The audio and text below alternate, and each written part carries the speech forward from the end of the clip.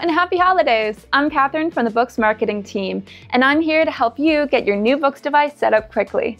So just follow along and it will be ready to use in no time. When you first get your device out of the box, it will display the power off screensaver. Go ahead and hold the power button for a few moments to start the device. First, you will have to pick your language and time zone. Then, your power options. Next, you get to pick whether you want a navigation bar or to use the bottom swipe gestures to navigate your screen. You can customize these settings later, so just pick one now. Same with the side gestures. Now that you're in the device, let's go finish setting up navigation first.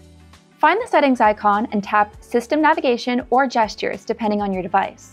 You have the options of a nav bar or, what I personally prefer, swipe gestures. Finally, find the Naviball app on your device to adjust or remove the Naviball. Pause here and play around with the navigation options so that you can see which one you prefer. Next, go ahead and pull down from the top right corner and access the Control Center. If you're using BOOX as a distraction-free device, turn on the Do Not Disturb and mute notifications. Then, you can touch the Edit pen on the top corner to add or remove settings, to personalize it to what you need. Next, let's take a look at some of our built-in apps. Some to pay attention to are the Bookstrap app, which is how you can easily share things with your device, the Neo browser, which is our browser made for e-paper, and the Google Play Store. But first, let's open the Neo Reader app.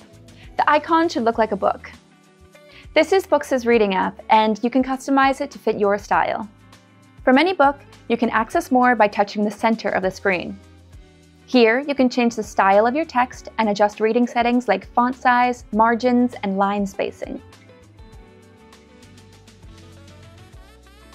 Now let's look at the Notes app. You can create a new note and pick any template. In the note, you can click the three dots to customize the toolbar and add or remove whatever functions you want on your main navigation. Finally, you can change the aesthetic of your device. To change the system font, go to Settings, then Display, then Font Style. You can also customize the screensaver in Settings or by finding the Screensaver app.